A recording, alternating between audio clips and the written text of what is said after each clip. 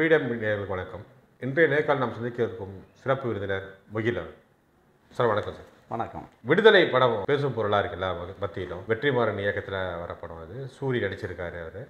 அதில் விஜய் சேதுபதி நடிச்சிருக்காங்க. இந்த படத்தின் மைய கதை சொல்ல போனால் ஒரு நக்சல் பாரி இயக்கத்தை தழுவி இருக்க மாதிரி கதைகள் அமையதா சொல்கிறாங்க அது. உங்களுக்கு வந்த செய்தி எப்படி இருக்காது விடுதலை மாபெரும் வெற்றியடையே மரியாதைக்குரிய சகோதரர் வெற்றிமாறனுக்கு நான் வாழ்த்தை தெரிவிக்க கடமைப்பட்டிருக்கிறேன். இந்த படத்தில் நடித்த அனைத்து நடிகர் நடிகைகளும் தைரியமாக வந்து நடித்திருக்கிறார்கள் என்றால் பாராட்டுதலுக்குரியது. குறிப்பாக சகோதரர் விஜய் சேதுபதி அவர்கள் சகோதரர் சூரிய அவர்களுக்கும் நான் மனதார வாழ்த்து தெரிவிக்க கடமைப்பட்டிருக்கிறேன். ஏனென்றால் தமிழகத்தின் தன்னிகர் இல்லா தலைவன் என் போன்றவர்களை உருவாக்கிவிட்டு உயிர் கொடுத்த அற்புத பேராண்மை தலைவன் தமிழரசன். அவன் உருவாக்கிய தமிழ்நாடு விடுதலை படை ஆயிரம் ஆயிரம் கனவுகளை சுமந்து தொடங்கப்பட்ட இயக்கம். பொதுவாக ஜெயங்கொண்டம் பெண்ணாடம் போன்ற பகுதிகளில் தழுவி குழுமி இருக்கிற முந்திரி காடுகளில் தனது படை அமைப்பை உருவாக்க வேண்டும் என்று கருதிய எங்கள் தலைவன் தமிழரசன் கோவை பொறியியல் கல்லூரி மாணவராக பயின்று கொண்டிருந்த காலகட்டம். தொழில்நுட்பவியல் படித்து கொண்டிருந்த தலைவன் படிப்பை துச்சமென தூக்கி வீசிவிட்டு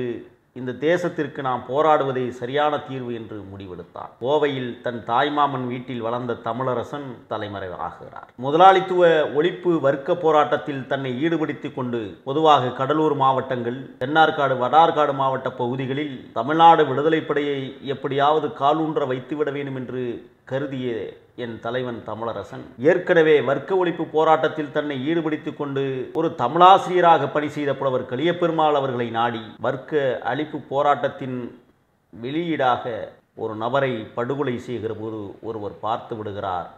அந்த பார்த்தவர் காவல்துறையிடம் காட்டி கொடுத்து விடுகிறார்.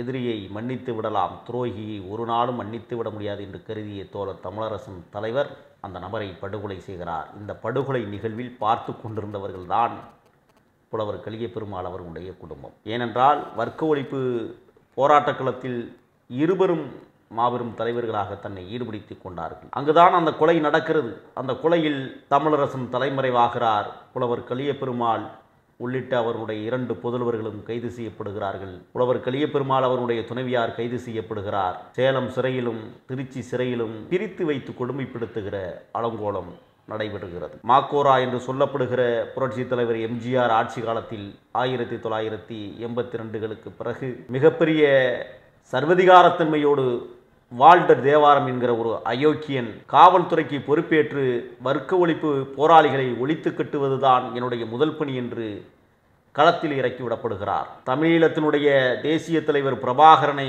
வளர்த்தெடுக்க ஆசைப்பட்ட மாக்கோரா என்கிற எம்ஜிஆர் அவர்கள் தமிழக அரசியல் வரலாற்றில் எந்த விதத்திலும் எந்த ஒரு படையும் தமிழ்நாட்டில் அமைத்துவிடக்கூடாது என்பதிலே கவனமாக இருந்தார். அதனுடைய ஒரு வெளிப்பாடுதான் தேவாரத்தை காவல்துறை அதிகாரியாக நியமித்து கடலூர் மாவட்டத்தினுடைய எஸ்பியாக நியமித்து அங்கே நடக்கிற வர்க்க போராட்டங்களை உடனடியாக காலி செய்துவிட வேண்டும். அந்த வர்க்க போராட்டத்தை நடத்துகிறவர்களை அழித்துரிக்கப்பட வேண்டும் என்பதிலே கங்கணம் கட்டி கொண்டார்கள். தஞ்சை பகுதியை மையமாக வைத்து தோழர் தியாகு கந்தரவுக்கோட்டை லெனின் போன்றவர்கள் ஒருபுறம் வர்க்க போராட்டத்தை தொடங்கியிருந்த காலகட்டம் ஆயிரத்தி தொள்ளாயிரத்தி அறுபத்தி ஒன்பதுகளில் கீழவன்மணி நிகழ்வு நடந்ததற்கு பிறகு கோபாலகிருஷ்ண நாயுடுவை கொலை செய்ய வேண்டும் என்று முதலாளித்துவ கோட்பாடுகளை தனதாக்கி கொண்டவர்களை உடனடியாக கொலை செய்ய வேண்டும் என்று திட்டம் தீட்டியிருந்தார்கள். ஒருபுறம் தியாகு கந்தரக்கோட்டை லெனின் ஒரு பக்கம் போராடி கொண்டிருக்கிறார்கள். இந்த புறம் பார்த்தமையானால் வர்க்க ஒழிப்பும் தேவை. அதே நேரத்தில் தமிழ்நாடு விடுதலையும் தேவை என்பதிலே கண்ணும் கருத்துமாக இருந்த எம் இனமானத்துடைய தலைவன் தமிழரசன் புலவர் கலியபெருமாள் அவர்களிடத்திலே நாடி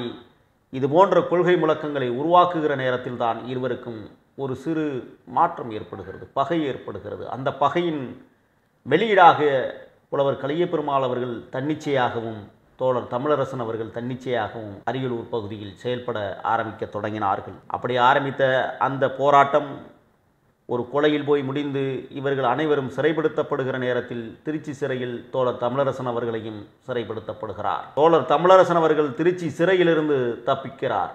தப்பித்து அந்த சுற்றுச்சுவரில் ஏறி குதிக்கிற பொழுது அவரது கால்களில் பலத்த காயமுறுகிறது உடனடியாக தஞ்சை மருத்துவக் கல்லூரியில் அவர் அனுமதிக்கப்படுகிறார் நண்பர்களால். பிறகு காவல்துறை கைது செய்கிறது. இப்படி முன்னும் பின்னுமாக காவல்துறைக்கும் தமிழ்நாடு விடுதலைப் படைக்கும் ஒரு மிகப்பெரிய ஒரு போர் மூழ்கிறது. மௌன யுத்தம் நடந்து கொண்டிருக்கிறது.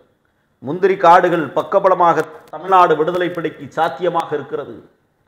பல்வேறு காவல்துறை அதிகாரிகளை இறக்கிவிட்டு பார்த்தாலும் தமிழ்நாடு விடுதலை படையை கட்டுப்படுத்த முடியவில்லை. ஆயிரத்தி தொள்ளாயிரத்தி எண்பத்தி ஏழுகளில் இந்திய அமைதிப்படை என்கிற அலங்கோலப்படையை இந்தியா அனுப்பியது தமிழீழத்திற்கு. தமிழீழ தேசத்தில் தமிழச்சிகளை கதற கதற கற்பழித்த அந்த கொடூர காட்சிகளை உள்வாங்கிக் கொண்ட எம் இனமானத்துடைய தலைவன் தமிழரசன் அவர்கள். அதே காலகட்டத்தில் கர்நாடக அரசு காவிரியில் தண்ணீர் தர மறுக்கிற மற்றொரு ஒரு மிகப்பெரிய போராட்டத்தை தொடங்கியிருக்கிற அந்த காலகட்டம். வீறு கொண்டு எழுந்த இளைஞர் கூட்டங்களுக்கு மத்தியில் தலைவனாக பரிணமித்த தமிழரசன் அவர்கள் இதற்கு எதிர்ப்பு காட்டியே ஆக வேண்டும் என்று கருதியதால் மருதையாற்று பாலத்தில் வெடிகுண்டு வைப்பதற்கான தயார் நிலைப்படுத்தப்படுகிறார். ஆனால் தலைவர் சொல்லுகிறார் ஒரு சேதாரம் கூட அப்பாவி மக்களுக்கு நடந்துவிடக்கூடாது ஒரு எச்சரிக்கையாக இருக்க வேண்டும் மத்திய அரசிற்கு என்று கருதினார். அதன் அடிப்படையில் மருதையாற்று பாலத்திற்கு முன்னால் அரியலூர் அந்த தொடர்வண்டி நிலையத்தினுடைய அதிகாரிகளுக்கு தகவல் கொடுக்கிறார்.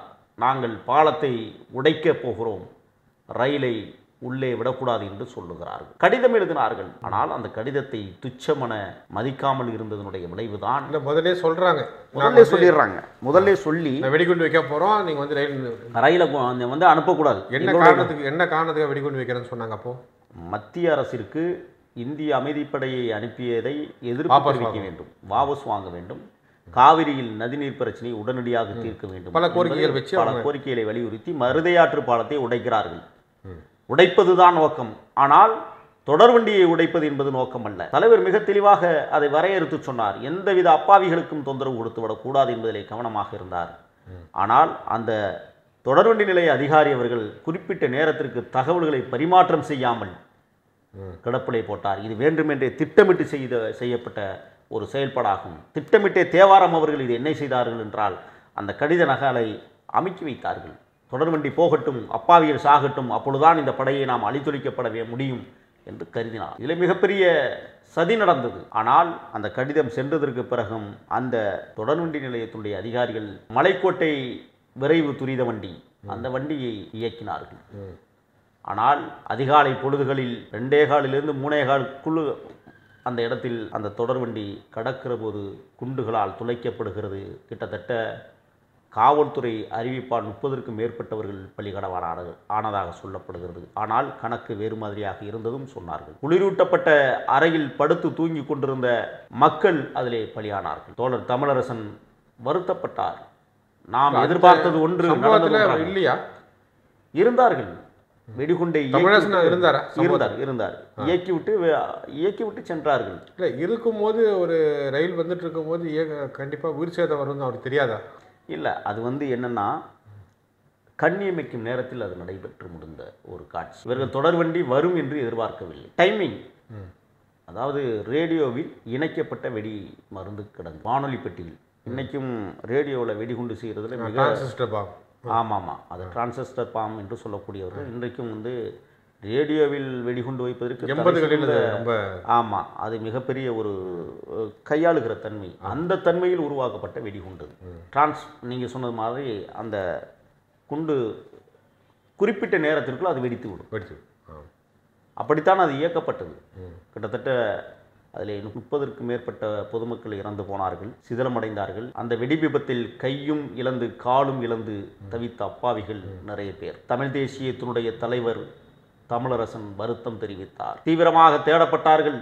அப்போ இந்த குண்டு வெடிப்பு தொடர்பில் யார் இருந்தா அப்போ? வருத்தம் தெரிவித்தார். இது அவர் அவருக்கு தெரியாமல் நடந்த விஷயமா தெரிஞ்சு நடந்த விஷயமா? தெரிஞ்ச தெரிஞ்சே நடந்ததுதான். ஆனால் அதான் சொன்னேன் வானொலி பெட்டியில் வைத்த வெடிகுண்டு அதனுடைய நேரத்திற்கு ஏற்றார் போல அது வெடித்து ஆ. அப்பொழுது லெனின் என்கிற தோழர். அதாவது லெனின்னா நீங்கள் நினைக்கிறது கந்தரவுக்கோட்டை லெனின். கந்தரப்பட்டு ஆ. அவர் அல்ல தமிழ்நாடு விடுதலை படையிலும் ஒரு லெனின் இருந்தார். அந்த மாபெரும் அற்புத தலைவன் லெனின் நினைவு நாள் நேற்று தான். நேற்று தான் இறந்த தினம். தன்னுடைய மிதிவண்டியில் வெடிகுண்டுகளை கட்டி கொண்டு போய் போய் அழித்து கொண்டு போகிற போது ஒரு இடத்தில் மணல் செருக்கி விழுந்து விடுகிறார். வெடிக்கி வெடிக்கிறது தன் உடல் சிதறண்டு போகிறது. அதுவும் முப்பது ஆண்டுகளை கடந்து விட்டது. மக்களுக்கான களத்தில் லெனினும் தன்னை அர்ப்பணித்துக் கொண்ட நாள் நேற்றோடு முடிந்து விட்டது. முப்பது ஆண்டுகள். அவன் நினைவு நாளை போற்றுகிற வகையில் இன்றைக்கு நாம் பேசிக் கொண்டிருக்கிறோம். தோழர் தமிழரசன் அதற்கு பிறகு அங்கிருந்து தலைமறைவாகிறார். காவல்துறை தீவிரமாக தேடுகிறது. அப்பொழுதுதான் ஒரு சம்பவம் நடக்கிறது. காவிரி நதிநீர் பிரச்சனையை நாம் தீர்க்க வேண்டுமானால் பொருளாதாரம் தேவைப்படுகிறது. மைசூருக்கு பக்கத்திலே இருக்கிற கிருஷ்ணராஜசாகர் அணையை நாம் உடைத்து விட வேண்டும். எப்படியாவது அந்த சம்பவத்தை நடத்திவிட்டால் தமிழர்களுக்கு தண்ணி தாராளமாக கிடைத்துவிடும் என்று தமிழர்கள் மீது தனியாத தாக்கம் கொண்ட தலைவன் தமிழரசன். பொன்பரப்பி வங்கியில் மத்திய அரசுக்கு சொந்தமான வங்கியில் பணத்தை கொள்ளையடிப்பது என்பதை தீவிரப்படுத்துகிறார். எந்த ஒரு தலைமறைவு இயக்கங்களும் அல்லது மக்களுக்கான இயக்கங்கள் தொடங்கப்படுகிற போது ஏன் குறிப்பாக விடுதலை புலிகள் அமைப்பு கூட வங்கிகளில் கையாடல் செய்தார்கள்? வங்கிகளை கொள்ளையடித்தார்கள். திமிரோடு சொல்வோம் அது மக்களுடைய பணம் அரசாங்கத்தினுடைய பணம் அரசாங்கம் கொடுக்கும் என்கிற நம்பிக்கையில்தான் மத்திய அரசினுடைய வங்கியில் கொள்ளையடிக்க திட்டம் தீட்டினார் தமிழரசன் அவர்கள். ஆனால் தேவாரம் என்ன செய்தார்? தன்னுடைய படையணியிலே இருக்கக்கூடியவர்களை அப்பாவிகளாக வேடம் தரித்து தென்னாட வங்கியில் அவர் இன்றைக்கு நுழைய இருக்கிறார் என்பதை அறிந்து கொண்ட உளவுத்துறை அப்பாவி மக்களை ஒரு இடத்தில் நிறுத்தி வைத்து சில கயவர்கள் வங்கியை கொள்ளையடிக்க வருகிறார்கள் அவர்களை எப்படியாவது கொன்றுவிட வேண்டும் என்று தமிழ்நாடு உளவுத்துறை பொதுமக்களோடு போய் கலந்து நின்றது பொதுமக்களுக்கு தலைவர் தமிழரசன் தான் வருகிறார் என்று எவருக்கும் தெரியாது. தெரிந்திருந்தால் மக்கள் நிச்சயமாக காவல்துறையை அந்த இடத்திலே அனுமதித்திருக்க மாட்டார்கள். ஆனால் மக்களோடு மக்களாக நின்று கொண்டு தலைவர் தமிழரசன் பொன்பரப்பி வங்கியை கொள்ளையடிக்க வருகிற போது கற்களாலையை அடித்து கொன்ற வரலாற்று சம்பவத்தை தான் இன்றைக்கு மரியாதைக்குரிய சகோதரர் வெற்றிமாறன் அவர்கள் விடுதலை படத்தில் வைத்திருப்பார் என்று நான் கருதுகிறேன். படம் வரட்டும் பார்ப்பதற்கு தயாராகி கொண்டிருக்கிறோம். விஜய சேதுபதி வந்து அந்த இன்னொரு கேரக்டர் நடிக்கிறதா சொல்கிறாங்க அவர். தமிழரசன் இல்லாமல் இன்னொரு கேரக்டர் வருதுங்க யாரு? புலவர். வாத்தியார். ஆ புலவர். புலவர் கரிய பெருமாள் அவர்களுடைய அந்த வாழ்வியல் துயரங்கள் இருக்கிறது அல்லவா அது சாதாரணமானதல்ல. ம். அவர் உட்கார்ந்து ஒரு இடத்துல வந்து பஞ்சாயத்து செய்கிறார் என்றால் எவ்வளவு பெரிய பஞ்சாயத்தாக இருந்தாலும் எடுத்துக்காட்டுக்கு நான் ஒன்று சொல்லுகிறேன். பொன்பரைக்கு ப பொன்பரப்பிற்கு பக்கத்திலே ஒரு நிலக்கிழார் அண்ணன் தம்பிகள் இருவர். அதிலே தம்பி வெளிநாடு சென்று மிகப்பெரிய வசதி படைத்தவராக மாறி போயிருந்தார். அண்ணனுக்கு பங்கு கொடுக்க வேண்டும். இந்த பிரச்சனை புலவர் கலிய பெருமாடத்திலே வருகிறது. உடனடியாக சரிசமமாக பங்கு வைத்து அந்த இருவருக்கும் கொடுத்து விடுகிறார். இதிலே அண்ணன் ஆத்திரம் விடுகிறார் நான் வெளிநாட்டிலே போய் சேர்த்து சொத்துக்களை எல்லாம் இவர்கள் பங்கு போட்டு பிரிப்பதற்கு ஆசைப்படுகிறார்கள் என்று புலவர் கலிய பெருமாள் மீதே வசி பாடுகிற அளவிற்கு வாழ்க்கை மாறுகிறது. ஆனால் அந்த இடத்திலேயும் மக்களை திரட்டி ஒரு தனிப்பட்ட ரீதியில் இருந்த குடும்பத்திற்கும் சமமாக பங்கு கொடுக்கப்பட வேண்டும் என்பதிலே மக்களை திரட்டினார்கள். மக்களின் மூலமாகத்தான் அந்த பங்குகள் பிரிக்கப்பட்டது. இது போன்ற மக்களை அதிகார மையத்தில் வைத்துக்கொண்டு போராடுவதுதான் சரியான தீர்வு என்று புலவர் கலியப்பெருமாள் அவர்கள் தீர்மானித்தார்கள். அதன்படியே நடந்தார்கள். அதனால்தான் தன்னுடைய இரண்டு ஆண் குழந்தைகளையும் இரண்டு பெண் குழந்தைகளையும் கூட சிறையிலே வைத்துக்கொண்டு சிரமப்பட்டார்கள் என்பதை நாடறியும். அன்னைக்கு காலகட்டங்களில் அவர் மன்னிப்பு உட்கார மாட்டேன்னு சொல்லிட்டார் அவர். அதாவது சொன்னவங்க ஆமாம் நான் இந்த வர்க்க போராட்டத்திலிருந்து தன்னை ஒதுக்கிக் கொள்ளுகிறேன் என்று கடிதம் எழுதி கேட்டார்கள் தேவாரம் தலைமையிலான படை. ஆனால் அவர் சொன்னார் நான் வர்- வர்க்க போராட்டத்தை ஒரு நாளும் இழப்பதில்லை. நான் இறுதி வரை நின்று போராடி சாவேனே தவிர எந்த காலகட்டத்திலும் அதிகார வர்க்கத்திற்கு உடன்பட மாட்டேன் என்று கடிதம் எழுதினார்கள். திருச்சி சிறையில் இருந்து. ஆனால் இந்த அதிகார வர்க்கம் எப்படியாவது கலியப்பெருமாள் அவர்களை கொன்றொழித்து விட வேண்டும் என்பதிலே கங்கணம் கட்டி கொண்டிருந்தார்கள். அந்த கலியப்பெருமாள் அவர்கள் ஆயிரத்தி தொள்ளாயிரத்தி தொண்ணூற்றி ஏழுகளில் நான் வீரப்பனாரிடம் பயணிக்க தொடங்கிய காலகட்டத்தில் ஐயாவிடம் போய் மரியாதை நிமித்தமாக நான் சந்தித்தேன். நான் காடுகளுக்குள் செல்லப் போறேன் என்பதை சொல்லவில்லை. ஆனால் அவரே சொன்னார் நீ செல்லுகிற இடம் எனக்கு புரிந்து விட்டது கவனமாக இருக்க வேண்டும் களத்திலே. எந்த இடத்திலும் பிசிறு வந்து விடக்கூடாது. தரம்பட பணியாற்றுங்கள். தமிழ் தேசியத்தை வெல்வதற்கு இதுதான் சரியான தருணம் என்று எங்களை தட்டி கொடுத்து வழியனுப்பி வைத்த மாபெரும் பெருந்தகையாளன் புலவர் கலிய பெருமாள் அவர்கள். அண்ணன் முத்துக்குமார் சுபா முத்துக்குமாரை நான் இந்த இடத்திலே நினைவுபடுத்தி சொல்ல கடமைப்பட்டிருக்கிறேன். என்னை அழைத்து சென்றவர் அவர்தான் சொன்னார். அப்பொழுது முத்துக்குமாருக்கு ஐயாவு என்கிற இன்னொரு புனைப்பெயரும் உண்டு. ஐயாவு எல்லாம் சின்ன பசங்க. கொள்கையோட வாராங்க. போர்க்களத்தில் செத்து மடிவது என்பது இயல்பானது தான் ஆனால் யதார்த்தமாக யாரும் செத்து விடக்கூடாது. சொல்லி அனுப்பிய பெருந்தகையாளன் புலவர் கலிய பெருமாள். அவருடைய வரலாற்றை ஒட்டிய படம் இன்றைக்கு வெளிவர இருக்கிறது. வெற்றிமாறன் இயக்கியிருக்கிறார்.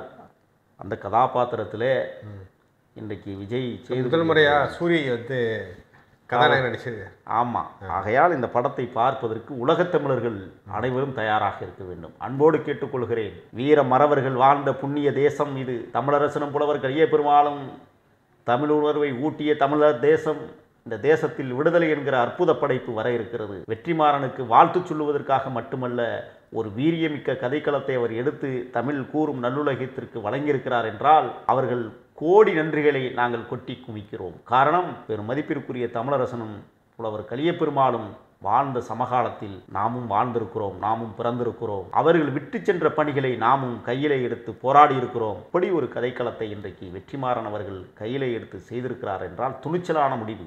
நடித்தவர்கள் துணிச்சலாக நடித்திருக்கிறார்கள் என்றே தான் நான் கருதுகிறேன். தலைப்பு பார்த்தீங்கன்னா விடுதலை சொல்லியிருக்காரு. அந்த விடுதலை வந்து இது வந்து சாதியத்தை சொல்றாரா இல்லாட்டி மக்கள் ஒடுக்கப்பட்ட மக்களுக்கு சொல்றாரா இல்லை தமிழர்களுக்கு சொல்றாரா? யாருக்கான விடுதலை இது? விடுதலை என்பது பொதுவான குறியீட்டு சொல். ஆனால் இந்த கதை களத்திலே நாம் பார்த்தோமேனால் வர்க்க ஒழிப்பு விடுதலையைத்தான் அவர் முன்னெடுத்து வைப்பார். ஏனென்றால் தோழர் தமிழரசன் அவர்கள் தமிழ்நாடு விடுதலையையும் வர்க்க ஒழிப்பு போராட்ட விடுதலையுமே இரண்டு மாடுகளுக்கு ஒரு ஏர் என்பதைப் போல இரண்டு தண்டவாளங்களில் செல்கிற ஒரு தொடர்வண்டியைப் போல இரண்டு கருத்துகளையும் ஒரே நோக்கத்திற்காக கொண்டு சென்ற அற்புத தலைவர்கள் தமிழரசனும் புலவர் கலியபெருமாளும் ஆகையால் வர்க்க போராட்டத்திற்கான விடுதலையையும் இன எழுச்சிக்கான விடுதலையையும் விடுதலை படத்தில் காணலாம் என்றுதான் நான் கருதுகிறேன். அதே. நோக்கியே தான் இந்த கதைக்களம் அமைந்திருக்கும். நிச்சயம் உலகத் தமிழர்களே வாருங்கள் விடுதலையை நாம் பார்ப்பதற்கு இருக்கிறோம். பார்த்ததற்கு பிறகு விடுதலையை படைப்பதற்கும் தயாராகும் என்று நான் சொல்ல கடமைப்பட்டிருக்கிறேன். நன்றி ஐயா. நன்றி.